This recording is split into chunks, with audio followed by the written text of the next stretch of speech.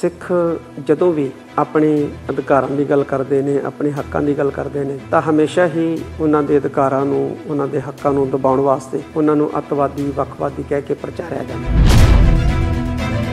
ਜਦੋਂ ਵੀ ਸਿੱਖਾਂ ਨੇ ਆਪਣੇ ਹੱਕ ਮੰਗੇ, ਆਪਣੇ ਅਧਿਕਾਰਾਂ ਦੀ ਗੱਲ ਕੀਤੀ, ਤੇ ਇਹਨਾਂ ਨੂੰ ਕੁਚਲਣ ਦਾ ਯਤਨ ਕੀਤਾ। ਵਰਗੀਆਂ ਗੱਲਾਂ ਜਿਹੜੀਆਂ ਨੇ ਉਹ ਕੀਤੀਆਂ ਗਈਆਂ। ਪਿਛਲੇ ਕੁਝ ਸਾਲਾਂ ਤੋਂ ਸਿੱਖਾਂ ਦੇ ਹਿਰਦਿਆਂ ਨੂੰ ਚੋਟ ਪਹੁੰਚਾਉਣ ਵਾਸਤੇ ਜੋ ਪੰਜਾਬ ਜਾਂ ਪੰਜਾਬ ਤੋਂ ਬਾਹਰ ਸ੍ਰੀ ਗੁਰੂ ਗ੍ਰੰਥ ਸਾਹਿਬ ਜੀ ਦੇ ਮਾਨ ਸਤਕਾਰ ਨੂੰ ਢਾਹ ਲਾਉਣ ਵਰਗੀਆਂ ਘਟਨਾਵਾਂ ਜਿਹੜੀਆਂ ਨੇ ਉਹ ਵਾਪਰ ਰਹੀਆਂ ਨੇ। ਸਾਨੂੰ ਨਹੀਂ ਲੱਗਦਾ ਕਿ ਸਹਿ ਸੁਭਾਅ ਹੋ ਰਹੇ। ਇਹਦੇ ਪਿੱਛੇ ਬਹੁਤ ਵੱਡੇ ਦਿਮਾਗ, ਬਹੁਤ ਵੱਡੀਆਂ ਚਾਲਾਂ, ਬਹੁਤ ਵੱਡੀਆਂ ਸਾਸ਼ਾਂ ਕੰਮ ਕਰਦੀਆਂ ਨਜ਼ਰ ਆਉਂਦੀਆਂ। ਸੋਚ ਸਮਝ ਤੋਂ ਸਖਣੇ ਜਿਹੜੇ ਲੋਕ ਨੇ, ਉਹਨਾਂ ਨੂੰ ਟੂਲ ਵਜੋਂ ਵਰਤਿਆ ਜਾਂਦਾ ਹੈ, ਇੱਕ ਹਥਿਆਰ ਵਜੋਂ ਵਰਤਿਆ ਜਾਂਦਾ ਹੈ, ਇਹੋ ਜਿਹੀਆਂ ਘਟਨਾਵਾਂ ਨੂੰ ਅੰਜਾਮ ਦੇਣ। ਵਾਹਿਗੁਰੂ ਜੀ ਕਾ ਖਾਲਸਾ, ਵਾਹਿਗੁਰੂ ਜੀ ਕੀ ਫਤਿਹ। ਸਿੱਖ ਜਦੋਂ ਵੀ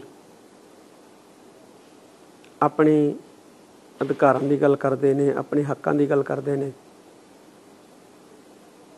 ਤਾਂ ਹਮੇਸ਼ਾ ਹੀ ਉਹਨਾਂ ਦੇ ਅਧਿਕਾਰਾਂ ਨੂੰ, ਉਹਨਾਂ ਦੇ ਹੱਕਾਂ ਨੂੰ ਦਬਾਉਣ ਵਾਸਤੇ ਉਹਨਾਂ ਨੂੰ ਅੱਤਵਾਦੀ, ਵੱਖਵਾਦੀ ਕਹਿ ਕੇ ਪ੍ਰਚਾਰਿਆ ਜਾਂਦਾ ਹੈ।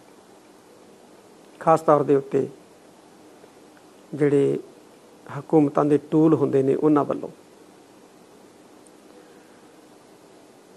ਜਦੋਂ ਵੀ ਸਿੱਖਾਂ ਨੇ ਆਪਣੇ ਹੱਕ ਮੰਗੇ, ਆਪਣੇ ਅਧਿਕਾਰਾਂ ਦੀ ਗੱਲ ਕੀਤੀ, ਤੇ ਇਹਨਾਂ ਨੂੰ ਕੁਚਲਣ ਦਾ ਯਤਨ ਕੀਤਾ। ਸਬਕ ਸਿਖਾਉਣ ਵਰਗੀਆਂ ਗੱਲਾਂ ਜਿਹੜੀਆਂ ਨੇ ਉਹ ਕੀਤੀਆਂ ਗਈਆਂ। ਸਿੱਖ ਫਲਸਫਾ, ਸਿੱਖ ਵਿਚਾਰਧਾਰਾ ਮਾਨਵਵਾਦੀ ਵਿਚਾਰਧਾਰਾ ਹੈ। ਸਮੁੱਚੀ ਮਨੁੱਖਤਾ ਨੂੰ ਆਪਣੇ ਕਲਾਵੇ ਦੇ ਵਿੱਚ ਲੈਂਦੀ ਹੈ। ਵਿਤਕਰੇ ਬਾਜ਼ੀਆਂ ਪਿੰਨ ਭੇਦ ਪੱਖਪਾਤ ਤੋਂ ਰਹਿਤ ਰਹਿਣ ਦੀ ਸਿੱਖਿਆ ਦਿੰਦੀ ਹੈ। ਔਰ ਸਿੱਖ ਇਸ ਵਿਚਾਰਧਾਰਾ, ਇਸ ਫਲਸਫੇ ਨੂੰ, ਜੋ ਧੰਨ ਧੰਨ ਸਾਹਿਬ ਸ੍ਰੀ ਗੁਰੂ ਗ੍ਰੰਥ ਸਾਹਿਬ ਜੀ ਦੇ ਵਿੱਚ ਸੁਭਾਈਮਾਨ ਹੈ, ਬਹੁਤ ਪਿਆਰ ਕਰਦੇ ਹੈ। ਆਪਣੀਆਂ ਜਾਨਾਂ ਤੋਂ ਵੀ ਵੱਧ ਕੇ।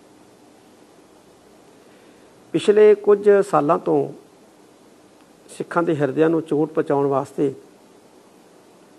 ਜੋ ਪੰਜਾਬ ਜਾਂ ਪੰਜਾਬ ਤੋਂ ਬਾਹਰ ਸ੍ਰੀ ਗੁਰੂ ਗ੍ਰੰਥ ਸਾਹਿਬ ਜੀ ਦੇ ਮਾਨ ਸਤਕਾਰ ਨੂੰ ਢਾਹ ਲਾਉਣ ਵਰਗੀਆਂ ਘਟਨਾਵਾਂ ਜਿਹੜੀਆਂ ਨੇ ਉਹ ਵਾਪਰ ਰਹੀਆਂ ਨੇ ਜਾਂ ਕਿਸੇ ਸਾਜ਼ਿਸ਼ ਅਧੀਨ ਵਾਪਰ ਰਹੀਆਂ ਨੇ, ਤੇ ਬੇਹੱਦ ਮੰਦਭਾਗੀਆਂ ਨੇ। ਆ ਕੁਝ ਦਿਨ ਪਹਿਲਾਂ ਪਟਿਆਲਾ ਜ਼ਿਲ੍ਹਾ ਦੇ ਪਿੰਡ ਮਹਾਲਗੜ੍ਹ ਦੇ ਵਿੱਚ ਘਟਨਾ ਵਾਪਰੀ ਹੈ। ਸ਼੍ਰੀ ਗੁਰੂ ਗ੍ਰੰਥ ਸਾਹਿਬ ਸੱਚੇ ਪਾਤਸ਼ਾਹ ਜੀ ਦੇ ਪਾਵਨ ਸਰੂਪ ਨੂੰ ਅਗਨ ਭੇਟ ਇੱਕ ਦੁਖੀ ਵੱਲੋਂ ਕੀਤਾ ਗਿਆ। ਇਹ ਜਿਹੜੇ ਸਾਰੇ ਵਰਤਾਰੇ ਆ, ਇਹ ਸਾਨੂੰ ਨਹੀਂ ਲੱਗਦਾ ਕਿ ਸਹਿ ਸੁਭਾਅ ਹੋ ਰਹੇ ਆ। ਇਹਦੇ ਪਿੱਛੇ ਬਹੁਤ ਵੱਡੇ ਦਿਮਾਗ, ਬਹੁਤ ਵੱਡੀਆਂ ਚਾਲਾਂ, ਬਹੁਤ ਵੱਡੀਆਂ ਸਾਸ਼ਾਂ ਕੰਮ ਕਰਦੀਆਂ ਨਜ਼ਰ ਆਉਂਦੀਆਂ। ਪਿੰਡਾਂ ਦੇ ਵਿੱਚ ਜਿਹੜੇ ਲੋਕ ਨੇ ਉਹਨਾਂ ਨੂੰ ਇੱਕ ਟੂਲ ਵਜੋਂ ਵਰਤਿਆ ਜਾਂਦਾ ਹੈ। ਸੋਚ ਸਮਝ ਤੋਂ ਸਖਣੇ ਜਿਹੜੇ ਲੋਕ ਨੇ, ਉਹਨਾਂ ਨੂੰ ਟੂਲ ਵਜੋਂ ਵਰਤਿਆ ਜਾਂਦਾ ਹੈ, ਇੱਕ ਹਥਿਆਰ ਵਜੋਂ ਵਰਤਿਆ ਜਾਂਦਾ ਹੈ, ਇਹੋ ਜਿਹੀਆਂ ਘਟਨਾਵਾਂ ਨੂੰ ਅੰਜਾਮ ਦੇਣ ਲਈ। ਤੇ ਫਿਰ ਉਹਨਾਂ ਨੂੰ ਇਹ ਕਹਿ ਕੇ ਬਚਾਉਣ ਦਾ ਯਤਨ ਕੀਤਾ ਜਾਂਦਾ ਹੈ ਕਿ ਇਹ ਮਾਨਸਿਕ ਰੋਗੀ ਹੈ, ਇਹ ਪਾਗਲ ਹੈ, ਇਹਨੂੰ ਟੈਨਸ਼ਨ ਹੈ। ਜੇ ਮਾਨਸਿਕ ਰੋਗੀ ਹੈ, ਪਾਗਲ ਹੈ, ਟੈਨਸ਼ਨ 'ਚ ਹੈ, ਆਪਣੇ ਘਰ ਨੂੰ ਅੱਗ ਨਹੀਂ ਲਾਉਂਦਾ ਆਪਣੇ ਪਰਿਵਾਰ ਦੇ ਜੀਆਂ ਨੂੰ ਨਹੀਂ ਸਾੜਦਾ, ਆਪਣੇ ਆਪ ਨੂੰ ਨਹੀਂ ਸਾੜਦਾ। ਉਹ ਗੁਰਦੁਆਰਿਆਂ ਵੱਲ ਕਿਉਂ ਆਉਂਦਾ ਹੈ? ਗੁਰਦੁਆਰਿਆਂ ਦੇ ਉੱਤੇ ਹੀ ਜਿਹੜਾ ਹੈ, ਉਹ ਅਟੈਕ ਕਰਨ ਦਾ ਯਤਨ ਕਿਉਂ ਕਰਦਾ ਹੈ? ਤਾਂ ਕਿਤੇ ਨਾ ਕਿਤੇ ਕਿਤੇ ਨਾ ਕਿਤੇ ਸਿੱਖਾਂ ਨੂੰ ਡਿਮੋਰਲਾਈਜ਼ ਕਰਨ ਵਾਸਤੇ,